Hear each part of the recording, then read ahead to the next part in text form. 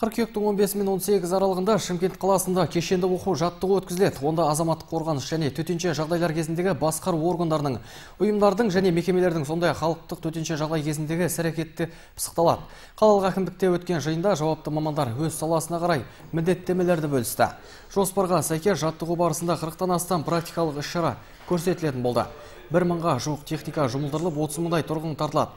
122 мың мектеп оқушыларда жаттығудың куәсі болмақ. Айта кетейік, ертең яғни қыркүйектің 16 күні қалалық әкімдіктің тапсырмасымен сағат 9:00-де сейсмикалық жаттығу басталады. Жақсылықты ойлап қой, жамандықты тақап қой. Шара мамандардың айтуынша Шымкент қаласы 8 балды жер сілкінісі болуы мүмкін.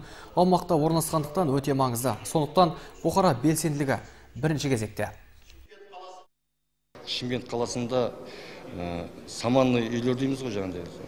Қыштан салынған үйлер көп және де көп қабат тұрғын үйлер көп. Осының бәрі жер сілкінісі орын алған жағдайда адамдардың көп зардап шегуіне алып келетін ірі төтенше жағдай болып саналады.